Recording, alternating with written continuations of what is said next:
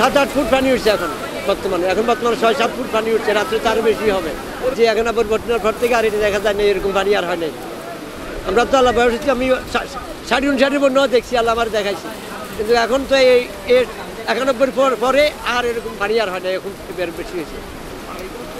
বাড়িঘর তো সব বিল্ডিংয়ে যেতেছে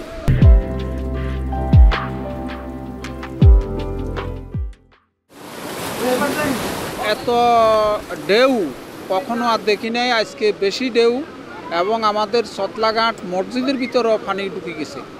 বিশেষ করে দোকান, কয়েকটা দোকান এবং লন্ডমন্ড কিছুই নাই। এবং বাড়িঘর তো আছে সবাই, বেড়ির বাইরে যারা আছে প্রত্যেকটা ঘরের প্রত্যেকটা ঘরের ভিতরে পানি। ঘূর্ণিঝড় রুমাল, এটা আমার বয়সে আমি আর এই এই বন্যা বাতাস দেখি না এখানে ভীষণ বাতাস, ভীষণ আপনার তুফানের মতো চলছে নদীর ঢেউর কারণে। বেল লগে যারা বসবাস করে এরা টিকতে পারছে না। এরা খুব অসহায়, গরু, ছাগল, হাঁস, মুরগি, মসজিদে আনে ডুবে গেছে। মানুষের দোকানপাট সমস্যা হয়েছে। ক্ষেত খামার, কৃষি ক্ষেত, যারা কৃষিক্ষেত করে, এরা কৃষক অনেক পরিমাণ নষ্ট হয়েছে। এলাকার অবস্থা তো খুব আশঙ্কাজনক।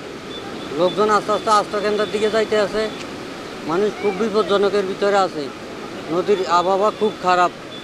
রাত্রের ভিতরে আরও এটা আরও বাড়ি দেব।